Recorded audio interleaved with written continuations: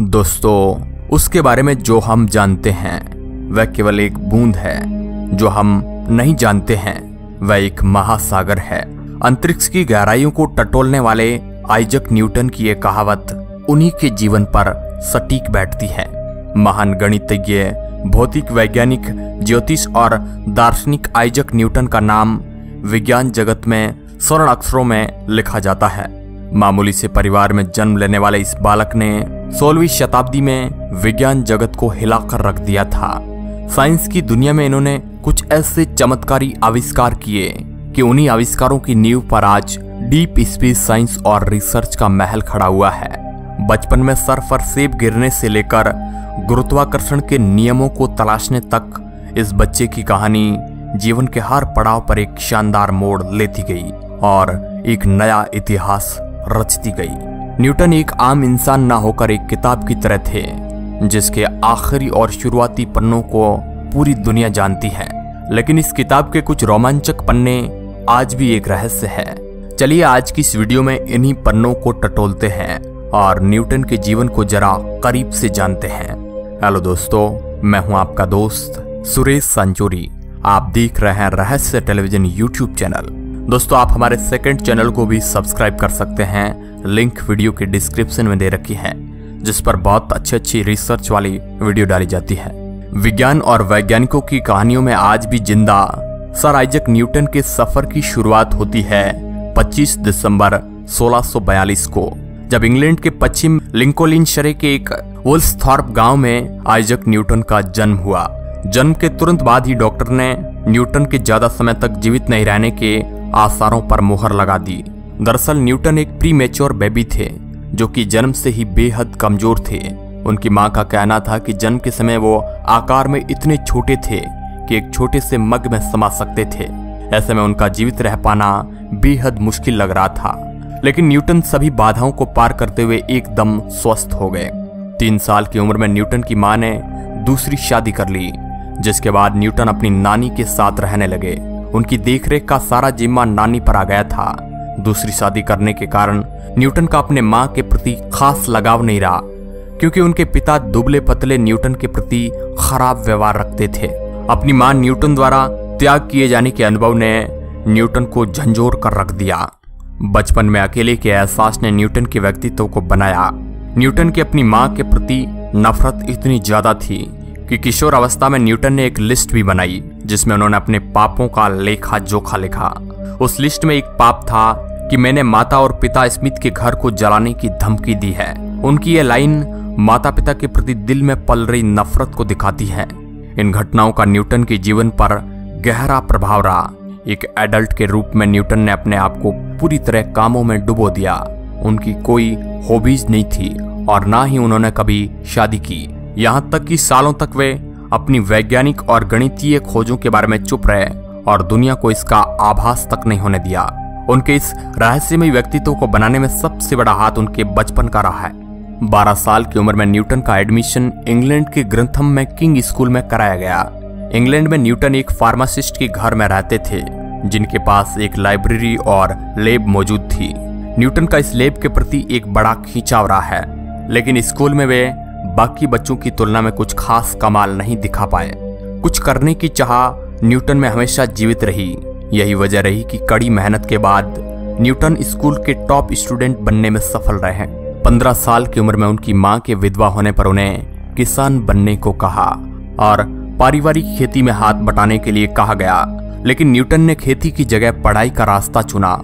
आखिरकार न्यूटन की माँ को उनके बेटे के पूर्व हेडमास्टर ने उन्हें स्कूल लौटाने की अनुमति देने के लिए राज़ी कर लिया।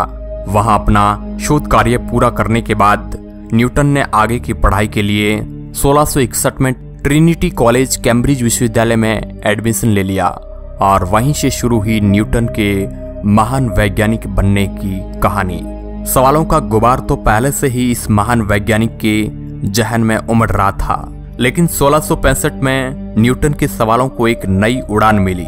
दरअसल 1665 में इंग्लैंड में भयंकर बीमारी फैलने के बाद यूनिवर्सिटी के दरवाजे बंद हो गए, जिसके बाद न्यूटन घर जाने के लिए मजबूर हो गए।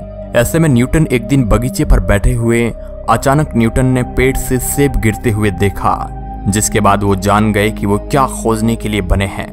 गिरते हुए इस सेब ने सब कुछ बदल दिया, या फिर यूँ कहे कि इस सेब ने विज्ञान के एक नए एरा की शुरुआत की, जिसकी नींव न्यूटन के ग्रेविटेशनल लॉ ने रखी। सेब के पेड़ से नीचे गिरने की घटना न्यूटन के लिए इतनी बड़ी थी कि उन्होंने इस सवाल के जवाब खोजने के लिए कई वर्षों तक अध्ययन किया और पता लगाया कि जब तक ग्रेविटेशनल फोर्स रहेगा, तब तक वह चीज़ नीचे आएगी। जब गुरुत्वाकर्षण बल खत्म हो जाएगा तो वह चीज़ वहीं तैरने लगेगी। अपनी खोज के बूते पर न्यूटन ने दुनिया को गति के तीन नियम दिए, जिन्हें आज हम थ्री लॉ ऑफ़ मोशन के नाम से जानते हैं। साल सोलह में न्यूटन ने कैम्ब्रिज में एक मैथ्स प्रोफेसर के तौर पर बच्चों को पढ़ाया। आपको बता दें कि यह दुनिया की सबसे पुरानी यूनिवर्सिटी में से एक थी। हालाँकि न्यूटन ने 30 साल तक कैम्ब्रिज में काम किया, लेकिन बच्चों को पढ़ाने में न्यूटन को खास मज़ा नहीं आता था। यहाँ तक कि बच्चे भी न्यूटन के लेक्चर में कुछ खास रुचि नहीं दिखाते थे। न्यूटन का सारा ध्यान खुद की रिसर्च पर केंद्रित था। लो ऑफ़ ग्रेविटी न्यूटन का एक ऐसा आविष्कार रहा, जिसके बारे में पूरी दुनिया जानती है। लेकिन इस महान वैज्ञानिक ने विज्ञान जगत को कई आविष्कार दिए। इसके लिए कई अजीबो गरीब थ्योरी और प्रैक्टिकल को अंजाम दिया। अपनी ऑप्टिक थ्योरीज के बल पर न्यूटन ने एक टेलीस्कोप डिज़ाइन किया। इस टेलीस्कोप में न्यूटन ने लेंस की जगह शीशों का इस्तेमाल किया और ताकतवर उपकरण को बनाया जो उस समय इस्तेमाल होने वाले टेलीस्कोप के आकार से 10 गुना छोटा था। जब लोगों को न्यूटन के टेलीस्कोप के आविष्कार का पता चला तो वो वैज्ञानिक और इंग्लैंड की रॉयल सोसाइटी के बीच मशहूर हो गए। इस लोकप्रियता ने न्यूटन को अपने लाइट और कलर एक्सपेरिमेंट को रॉयल सोसाइटी के सामने रखने की हिम्मत दी।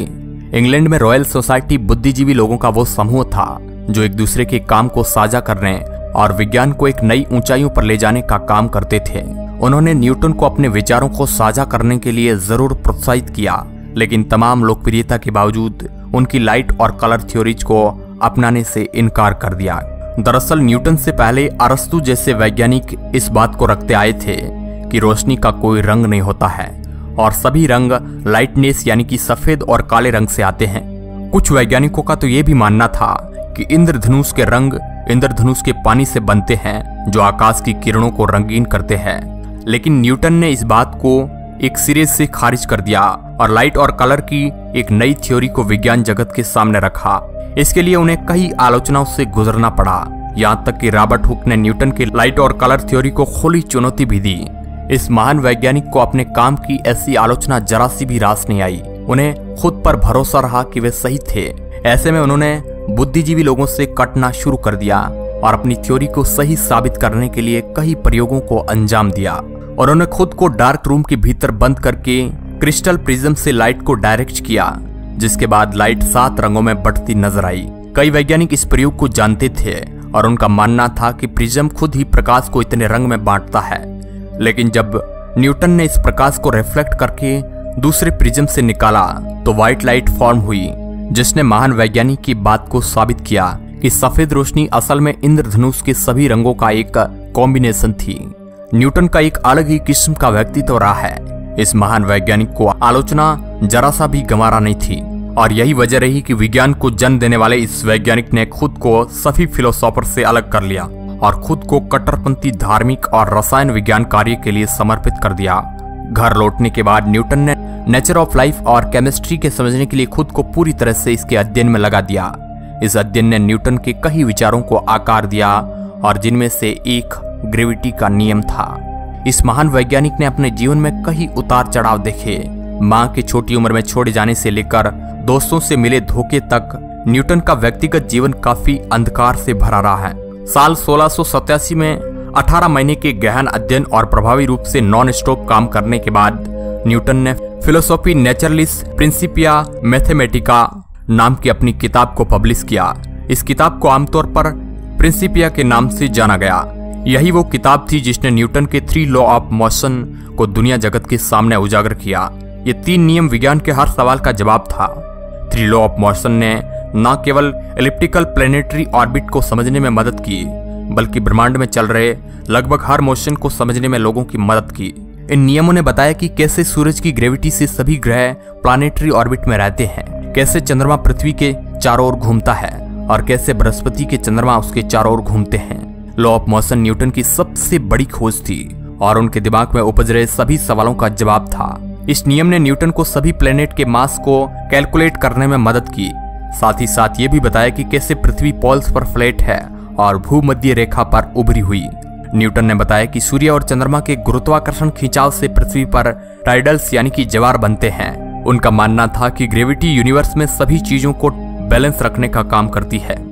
बौद्धिक तौर पर खुद को हमेशा अध्ययन से जोड़कर रखने की वजह से एक समय ऐसा आया जब न्यूटन जैसे महान वैज्ञानिक को मेंटल ब्रेकडाउन का शिकार होना पड़ा। लगातार कई रातों और हफ्तों तक बिना रुके काम करने की वजह से उन्हें इस स्थिति से गुजरना पड़ा। लेकिन न्यूटन के नाजुक मानसिक स्वास्थ्य ने उनके काम में कोई बाधा नहीं आई। उन्होंने अपने अध्ययन और खोज की यात्रा जारी रखी। न्यूटन सफलता की राह पर जितने ऊपर गए उन्हें नीचे खींचने वाले कई वैज्ञानिक भी उनके साथ चल रहे थे। एक जर्मन फिलोसोफर गॉडफ्रीड लिबनीज ने उनकी कैलकुलस की थ्योरी पर आधारित अपनी एक नई कैलकुलस लेकर आए, जिसे न्यूटन 20 साल पहले ही खोज चुके थे और उनके विचारों को चुराकर गॉडफ्रीड लिबनीज एक नई थ्योरी फेस कर रहे थे। लेकिन दुविधा यह थी कि उन्होंने अपने इस काम को कभी पब्लिश नहीं किया था। ऐसे में दोनों वैज्ञानिकों के बीच कई सालों तक कैलकुलस की थ्योरी को लेकर विवाद रहा। और इस बात पर दोनों के बीच कड़ी टक्कर रही कि असल में ये थ्योरी किसकी है। लेकिन 1713 में उनकी इस परेशानी का भी हल खोज लिया गया, जब न्यूटन 20 साल पुराने अपने नोट की मदद से यह साबित करने में सफल रहे कि यह थ्योरी उन्हीं के द्वारा लिखी गई थी। गॉडफ्रीड लिबनीज कोई पहले वैज्ञानिक नहीं थे, जिन्होंने न्यूटन के कार्य और उनके व्यक्तित्व से चिट थी, बल्कि रॉबर्ट हुक जैसे वैज्ञानिक भी न्यूटन को नीचा दिखाने का कोई मौका नहीं छोड़ते थे। लेकिन इस वैज्ञानिक के लिए ऐसी आलोचनाओं का कोई अस्तित्व नहीं था। अपने जीवन काल में न्यूटन ने कई आविष्कारों को जन्म दिया। विज्ञान से लेकर राजनीति तक न्यूटन ने हर क्षेत्र में अपना हाथ आजमाया और सफल भी रहे। उनका कहना था कि यदि मैं दूसरों की तुलना में खुद को आगे पाता हूँ तो ऐसा मैं महान दिग्गजों के कंधों के सहारे पर ही कर पाया हूँ। सीधे शब्दों में कहे तो पहले महान वैज्ञानिकों के आविष्कारों के दम पर ही मैं ये आविष्कार कर पाया हूँ। एक सौ तिरानवे आईक्यू वाले इस वैज्ञानिक ने मॉडर्न फिजिक्स को बनाया, लेकिन उनका मानना था कि विज्ञान जगत एक महासागर की तरह है, जिसके बारे में हम केवल एक बूंद भी नहीं जानते हैं। 84 साल की उम्र में जब हमने इस महान मैथमेटिशियन को खोया तो हमने एक शानदार नेचुरल फिलोसोफर, भौतिक वैज्ञानिक और ज्योतिष को भी खोया, लेकिन उनकी मौत ने एक नए साइंटिफिक युग की शुरुआत की, जिसमें वे हमेशा के लिए the great legend sir Isaac Newton के नाम से अमर हो गए। तो दोस्तों, आज के इस वीडियो में बस इतना ही। अब आपकी सर आइजक न्यूटन के बारे में क्या राय है, अपनी प्रतिक्रिया हमें कमेंट बॉक्स में ज़रूर बताएँ। वीडियो के अंत तक बने रहने के लिए आपका बहुत बहुत धन्यवाद।